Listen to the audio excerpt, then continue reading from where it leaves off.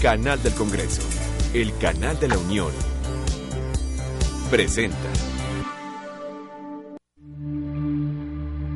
El tiempo del alba se lo damos a la alondra. El tiempo de la luz se lo damos a los niños. El tiempo de la esperanza se lo damos a la cementera. El tiempo del camino se lo damos al hombre. El tiempo del hombre se lo damos a la tierra. El tiempo de la verdad se lo damos al pueblo.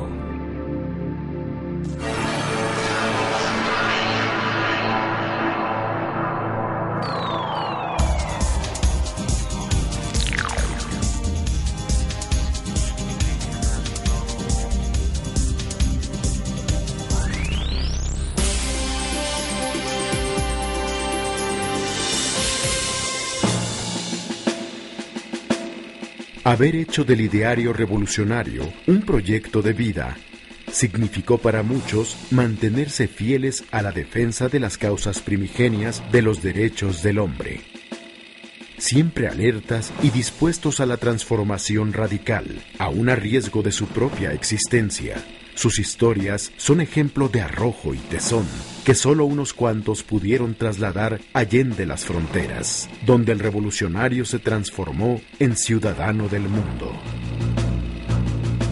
Gilberto Vázquez había demostrado al gobierno mexicano que era un gran negociador, que, que lo respetaban, que podía lograr dentro de la diplomacia muchos objetivos que el gobierno mexicano quería. No había tema que él no supiese eh, abordar y siempre lo hacía eh, con una maestría, con un conocimiento, con una profundidad eh, envidiable. Don Gilberto conocía indudablemente las dos caras de la política, la firina y la humana, pero eh, va a haber esa oportunidad en donde va a ser una política en donde justamente y en primer término se va a ver el aspecto humano. Yo creo que don Gilberto Bosques es uno de esos mexicanos injustamente olvidados. Es un mexicano ejemplar, que tuvo una vida política y administrativa muy intensa y que marcó muchísimo a toda una generación de mexicanos y de extranjeros que acabaron por vivir por venir a vivir a México. Era un hombre que inspiraba mucho respeto. Mucho respeto a todos, a sus amigos, a sus adversarios. Era, eh, era una figura respetable. De pie, con una mirada que recoge su centenaria existencia, tenemos a Gilberto Bosques Aldívar, quien nació cuatro años antes de haber sido tomada esta impronta, un 20 de julio de 1892, en Chiautla de Tapia, Puebla, hijo de Cornelio Bosques y María de la Paz Aldívar quien personalmente se encargó de su instrucción básica y de acercarlo a la prosa de Altamirano, Prieto, Riva Palacio y la cálida poesía de Juan de Dios Pesa.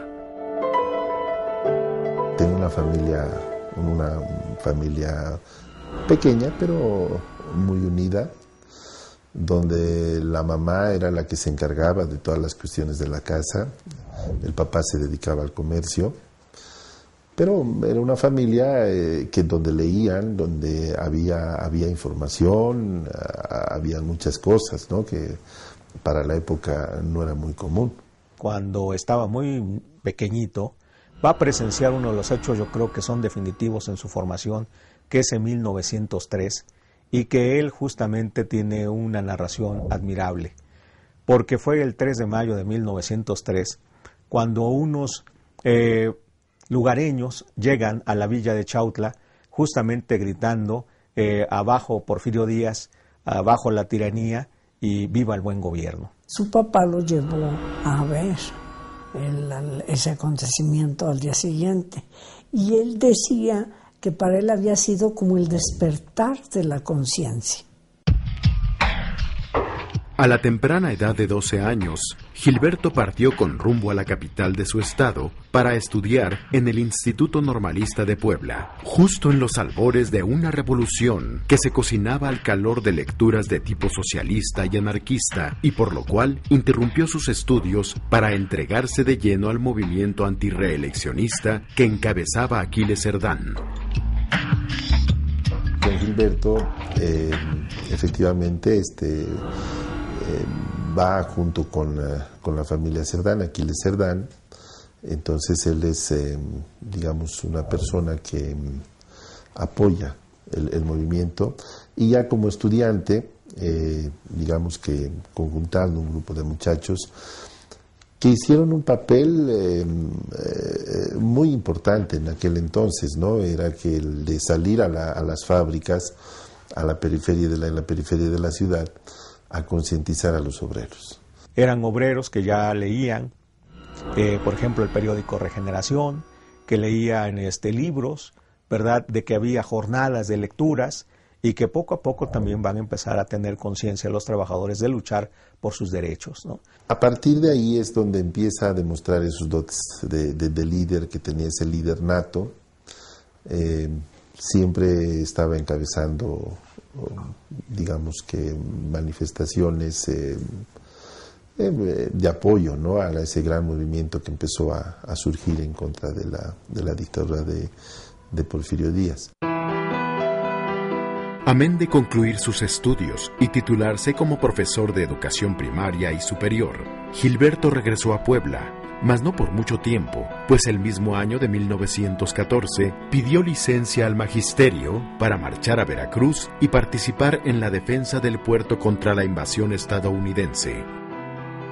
Fue en esa etapa que Bosque Saldívar refrendó sus lazos con el carrancismo, primero con el fusil y posteriormente de vuelta a la tiza, pero desde una tribuna más elevada, al organizar el primer Congreso Pedagógico Nacional, celebrado en Tlaxcala, donde sembró la semilla de la reforma educativa.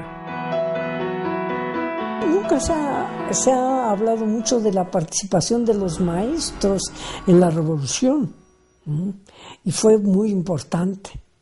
Entonces eh, lo comisiona al sureste a, a estudiar la realidad, porque después de una revolución eh, hay la transformación de la escuela. Eh, siempre ha sido así. Ellos decían que, o planteaban más bien él, él y vamos, a ser los amigos, los compañeros. De, eh, planteaban esto, ¿no? de que mm, si el hombre eh, donde se realiza, digamos, es en la sociedad, entonces debe servir a la sociedad. Y la educación que debe recibir debe provenir, digamos, eh, de la misma sociedad. La revolución le va a permitir justamente una idea más acabada, que yo creo que empieza quizás con los preceptos mismos de Carranza, que sea una educación laica, gratuita y obligatoria, ¿verdad? Donde los maestros tengan una participación muy importante en la educación de los niños, las escuelas que tienen que ser públicas, ¿verdad? Eh, lo más higiénico posible, este, mm, en fin, y que estén muy ligadas indudablemente a las necesidades de la comunidad. Aunque la Convención Revolucionaria de su estado lo había nombrado diputado para asistir al constituyente de Querétaro, Gilberto tuvo que renunciar, pues le faltaron algunos meses para cumplir con el requisito de edad. En cambio, sí se convirtió en constituyente de Puebla, postulado por los obreros en el mismo año de 1917, comenzando de esta forma sus pasos en la política y el periodismo, donde consagró el sabio consejo de su madre. Piensa todo, le decía. Piensa lo que has hecho ayer, lo que haces hoy, lo que puedes hacer mañana. Lo más importante que puede hacer el hombre es pensar, pensar siempre, pensar todo.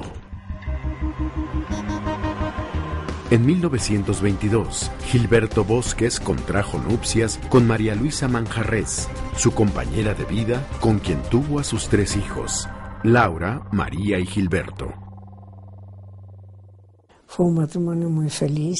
Los dos eran maestros, muy buenos maestros. Y pues la verdad fue un hogar lleno de felicidad, de ternura, de inteligencia. Eh, fue una vida muy, muy bonita la que hicieron ellos realmente, los dos. En ese mismo año, logró obtener la Diputación Federal e incorporarse a la trigésima legislatura. Para ese entonces, Gilberto había marcado ya su distancia con la cúpula revolucionaria, primero con Obregón por su natural aversión carrancista y luego con Plutarco Elías Calles, a quien siempre vio con cierto resquemor y desconfianza. Y en el 23, eh, en, ese momento también era diputado, pero ya diputado federal por Puebla, y se incorporó, se fueron a la revolución de la huertista. Tanto Froilán como él, como David, entonces, se fueron. Ellos se quedaron en el exilio. Uh, sobre todo Froilán estuvo muchos años en el exilio.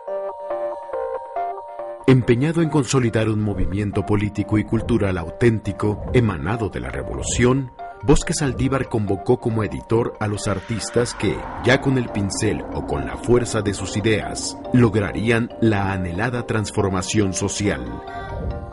Junto con José Vasconcelos, Gilberto creó la Casa Aztlán Editores, donde se publicaron La Antorcha, El Gladiador, El Sembrador, El Libertador, Sonido 13 y El Machete, en los cuales colaboraron como ilustradores artistas de la talla de Diego Rivera, Leopoldo Méndez y Fermín Revueltas. No nada más estudió este, la normal, sino que él toda la vida se estuvo cultivando y le parecía fundamental la parte cultural también para un avance en el país. No, él es, es un hombre que integra todo, tiene una visión integral, una visión de, de nación, ¿no? Hacia dónde debe de ir y por eso es que impulsa, o sea, le parece que las aportaciones artísticas son muy importantes para motivar ¿no? este cambio en las mentalidades este, y en la cultura del pueblo mexicano jefe de enseñanza técnica para mujeres, profesor de lengua española, traductor políglota y editorialista, Gilberto Bosques superó la etapa del maximato y con el cardenismo regresó al Parlamento mexicano en la 36 legislatura como diputado por su estado natal. A su paso por Donceles, destacó la respuesta que dio al primer informe del presidente Cárdenas y particularmente el impulso que junto con Luis Enrique Erro dio a la reforma del artículo tercero constitucional, en la cual se otorgaba a la educación un carácter socialista con plena responsabilidad del Estado. Imagínese usted, ¿no? Eh, cuando se propone la educación socialista, lo que realmente este, motivó ¿no? una polémica, por supuesto, muy interesante y que en el fondo lo que se quería era una educación con características que justamente la Revolución Mexicana ya estaba definiendo, ¿no? Que era una educación para el pueblo, que se hiciera una educación extensiva a toda la República, que por primera vez, si usted quiere, fuera una educación para todos los mexicanos, a todo el país, ¿verdad?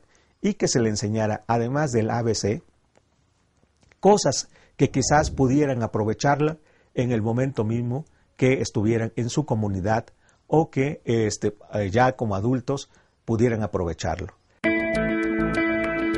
Luego de una campaña fallida para obtener la candidatura al gobierno de Puebla, misma que el PNR concedió a Maximino Ávila Camacho, Gilberto Bosque Saldívar se encargó de la Secretaría de Prensa y Propaganda de su partido al mismo tiempo que dirigió el Nacional, desde donde le tocó ser testigo de la expropiación petrolera. Con el sello particular de sus editoriales, El Chiauteco escribió sobre educación, finanzas y relaciones internacionales, para lo cual se hacía llegar de los informes de los cónsules y especialistas en la materia, de tal forma que fue acumulando un vasto conocimiento sobre movimientos económicos y tratados internacionales. Este fue el inicio de una de las historias que más orgullo ha dado al servicio exterior mexicano, y tal como refiere Friedrich Katz, hizo de nuestro país la tierra prometida. Bueno, cuando estalló la guerra civil, en 1936, yo tenía cinco años. Yo lo que recuerdo, así no sé si, si en verdad lo recuerdo o se lo oí contar mucho a mis padres, salimos de mi pueblo, eh, bueno, era una de que oías disparos por todas partes. Salimos una noche con mi abuelita materna, una tía, mis primos. Salimos de mi pueblo a otro, a 20 kilómetros donde vivían mis abuelos y donde era quizá menos riesgoso permanecer ahí. Y así empezamos a recorrer toda España en la, forma en que íbamos perdiendo los republicanos, íbamos de pueblos a otros pueblos y así en una ocasión salimos a Francia. Franco está a punto de ganar y, entonces eh, convergen en Francia muchísimas eh, personas eh, antifascistas, ¿no? Antinazistas, ¿no?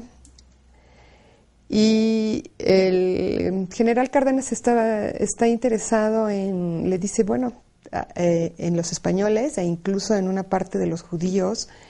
Y Gilberto Bosques también le propone que traigan alemanes, que traigan belgas, que, están en, Francia, porque sería muy importante para el desarrollo del campo y el desarrollo industrial del país, traerlos también a todos estos personajes que son que pueden aportar mucho al desarrollo de, de México. En congruencia con los postulados sociales de la revolución, que habían sido dejados de lado por su antecesor, la política exterior del presidente Lázaro Cárdenas se opuso al fascismo en todas sus formas durante la Guerra Civil Española. Cárdenas apoyó a la República contra Franco y sus aliados Hitler y Mussolini, lo cual lo llevó a una confrontación directa con los nazis. Llegamos a el 31 ¿no? pues creo que el primero de enero de 1939, porque llegamos en la mañana, tomamos un tren y llegamos a París de noche, me acuerdo muy bien. ¿no? A mí me pareció todo muy oscuro, ¿no? En pleno, en pleno enero, ¿no? Entonces, bueno, pues ya, ya fue, eso era 1939, 39, y la guerra estalló en en septiembre.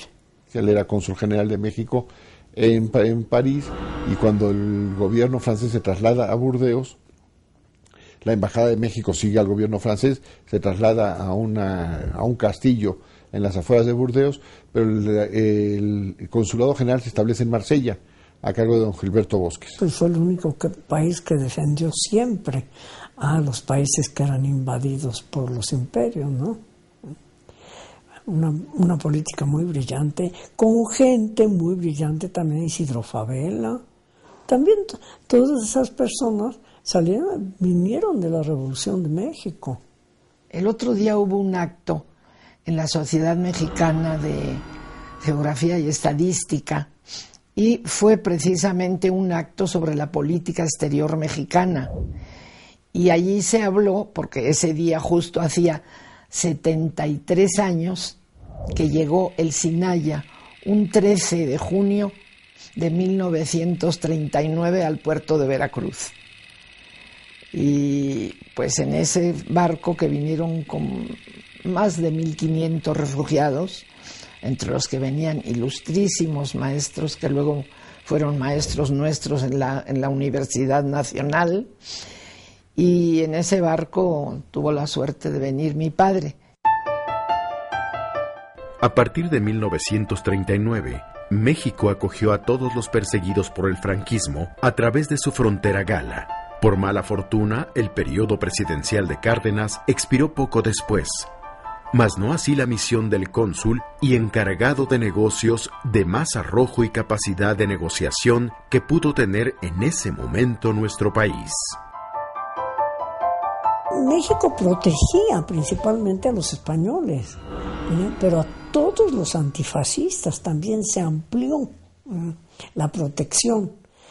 Y el licenciado Rodríguez, que fue un gran diplomático, muy hábil, mm, él, consiguió, digamos, que se oficializara esa protección y se hiciera un convenio entre Francia y México.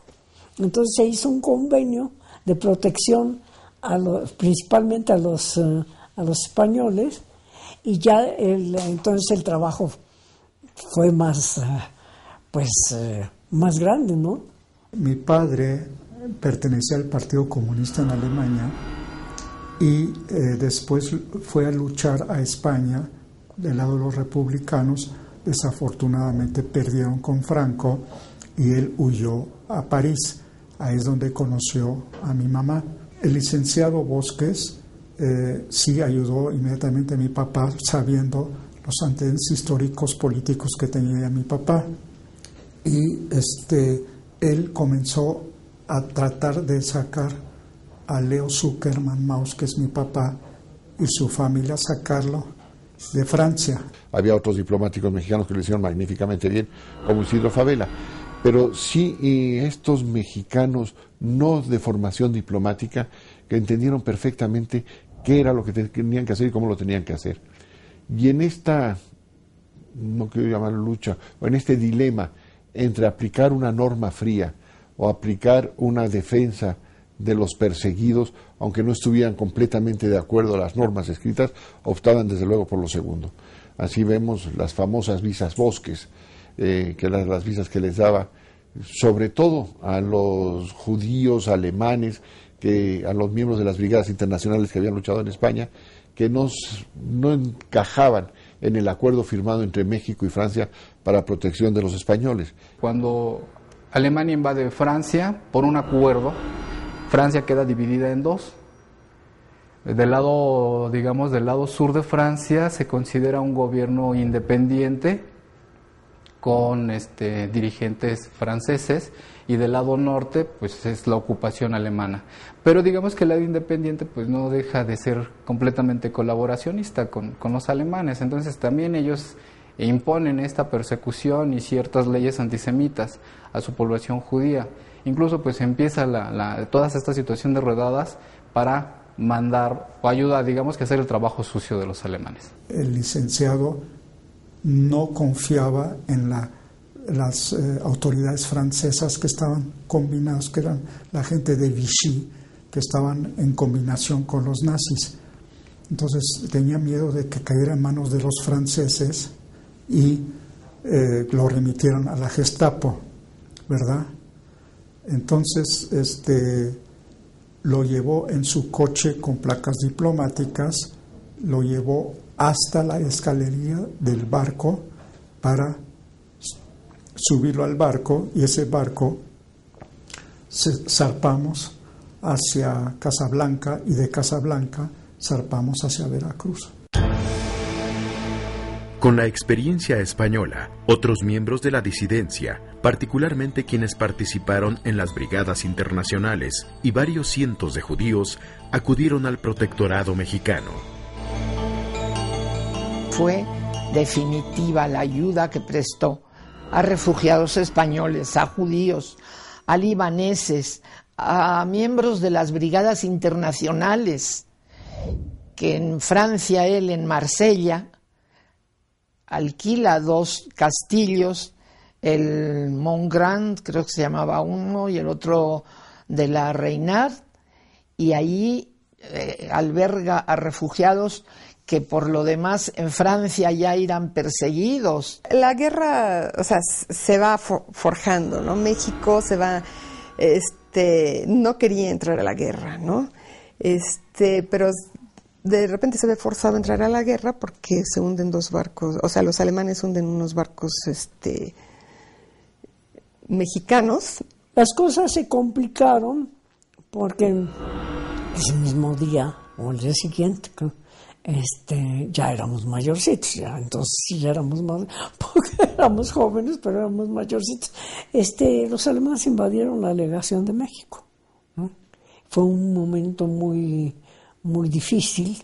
Ya no hay manera de proteger a la legación mexicana, pero no solamente a la legación mexicana, o sea, no es México el único que entra en guerra, entra en guerra pues casi todos los países latinoamericanos. Primero les dicen que van a estar en Francia y después ya al final les dicen se van a Alemania. Efectivamente se los llevan a un hotel en donde Hitler solía, eh, de un amigo de Hitler, donde Hitler solía pasar ahí sus veranos, me parece, y la legación mexicana junto con otras legaciones se, se encuentran ahí y se encuentran presos por 15 meses. No, no tuvimos miedo. definitivamente. Bueno, yo creo que gracias a ellos. Y él dijo, no, hay, hay alguna, no hay ninguna deshonra tener miedo, ¿no? Ahí había escenas a veces de pánico con los más chiquitos. Entonces se dijo, no, no, no, esas escenas de pánico no. Es que vamos a ver los bombardeos. y vimos, vimos todos los bombardeos de Colonia. Y además la zona era una zona industrial, pues era Coblenza de un lado, entonces ya había casi diario. La historia del cónsul y embajador mexicano no terminó ahí. Desde Portugal siguió ayudando a los perseguidos por Franco y años más tarde fue nombrado embajador en Cuba. Vivió hasta superar los 100 años, hasta que su enorme corazón dejó de palpitar unos días antes de cumplir 103.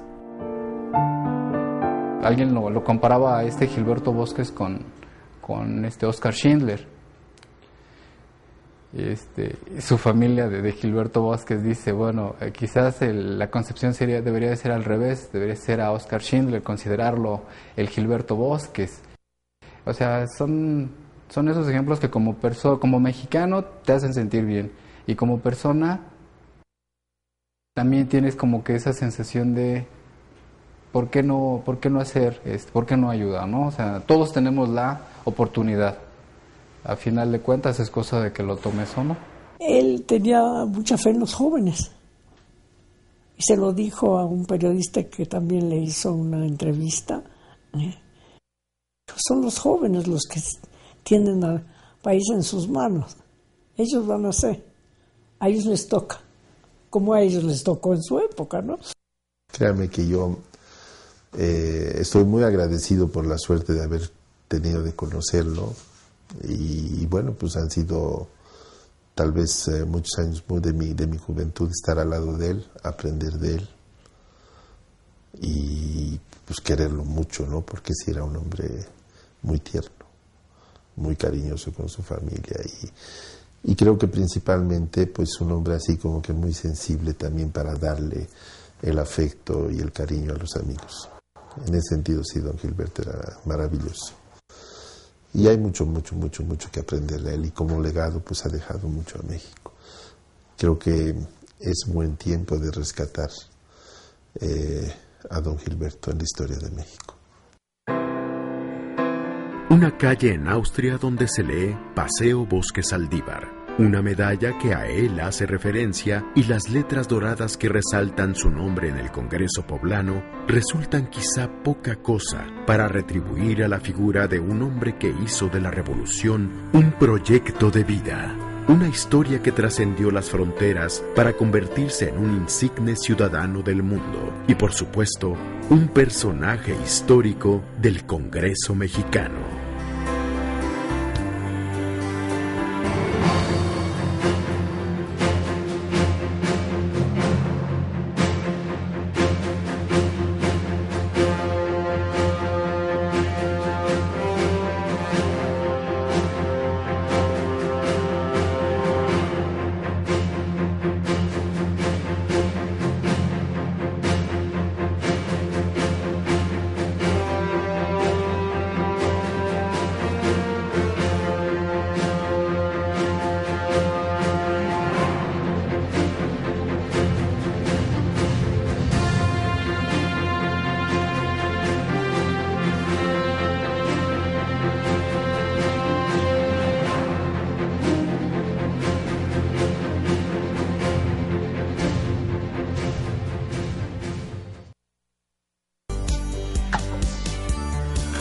Canal del Congreso, el canal de la Unión, presentó.